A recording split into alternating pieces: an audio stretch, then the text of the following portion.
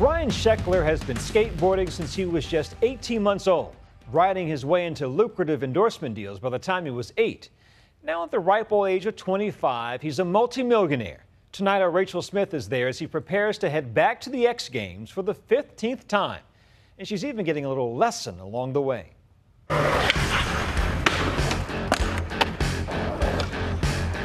At first glance, Ryan Sheckler may look like your stereotypical skater die punk.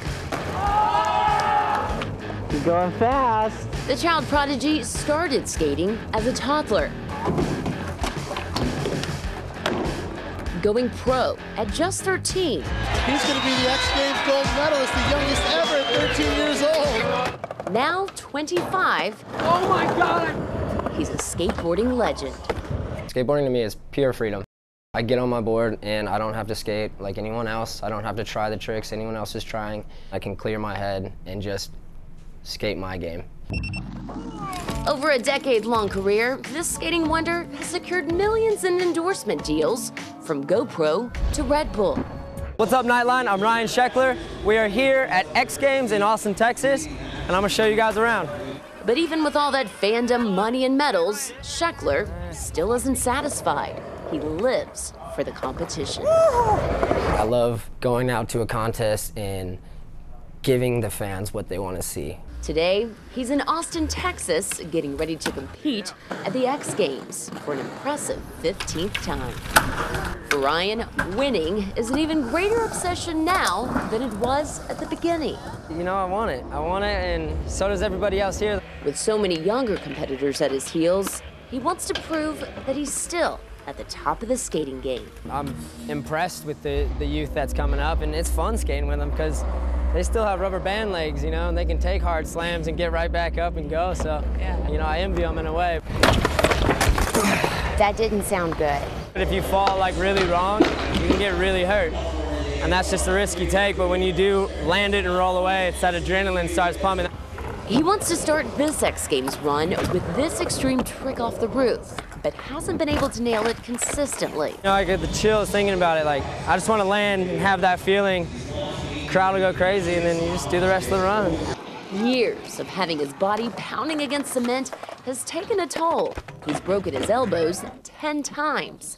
People don't know how much willpower that takes to fall really hard and to get back up and try it again. It's, it teaches your brain how to never give up.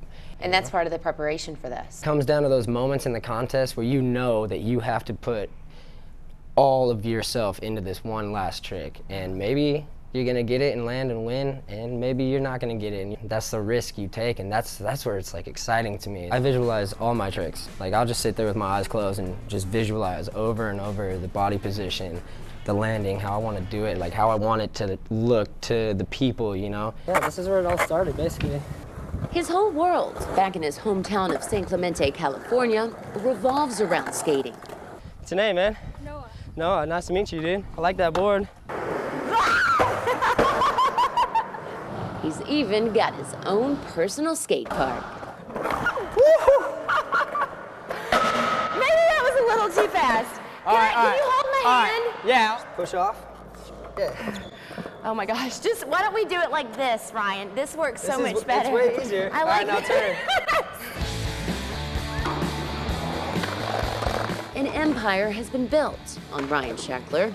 He's helped transform this childhood French pastime into a billion dollar industry. How has skating as a business changed? Uh, skateboarding as a business has changed dramatically. People are getting huge contracts now. Really? Like how much? Skateboarders are making millions of dollars. At first, it was thousands of dollars as an eight year old, a kid already becoming a brand. Do any of the guys kind of get upset that you're so young and you're beating them? Yes, I do. You get some dirty looks? Yeah, a lot. Like, just like kids that are, are big guys actually that are just mad. Ryan's mother, Gretchen, has also been his manager from the very beginning. There's not one moment of worry that has ever given me one ounce of, of peace. Since I was a really little kid, I don't know many parents that would allow their son to break their arm at three years old and continue to skate with the cast.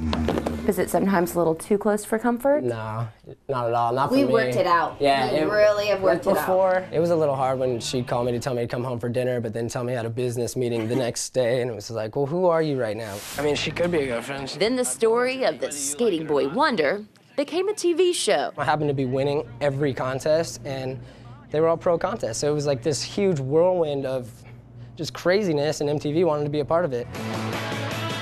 The MTV show, Life of Ryan, brought him mainstream fame, but among skating peers, some labeled him a sellout. It was too much. Just this kind of weird vibe I was getting from other professional skateboarders. The dudes I look up to were kind of not too psyched on what I was doing. Did they feel like you were selling out the industry, maybe? I mean, yeah, but I'm one person, you know? Like, one person can't do, you know, can't destroy an activity that's purely supposed to be freedom, anyways. Wee. Day of, here it comes.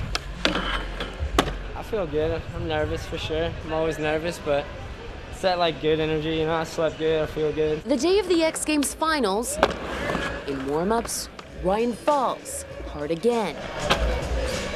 Trying to perfect that dangerous trick off the roof, but still, he musters that willpower to get back up. And the top six will be advancing to the final. He's in that group right now. Ryan makes advances to the final round, with mom and girlfriend watching. And lands the trick off the roof, earning him a bronze medal. We came home with a medal, so at the end of the day, it's a success. So I'm happy. You've always said that you want to be a legend in the skating world. Do you feel like you've made that? Do you feel like you've hit that mark? I don't know. I'm just a professional skateboarder that loves it, that absolutely loves it. Whether that's going for the biggest trick on the course or skating the fastest or, you know, sitting down and doing a three hour autograph signing. It's whatever, you know, it's whatever's clever at that moment.